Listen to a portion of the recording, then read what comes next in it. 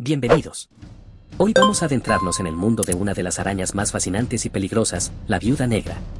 Estas sorprendentes arañas se encuentran en todo el mundo y se distinguen por su tamaño y su característico patrón de colores. La viuda negra es conocida por su abdomen negro brillante y su marca roja en forma de reloj de arena. Pero cuidado, su belleza esconde un peligro mortal.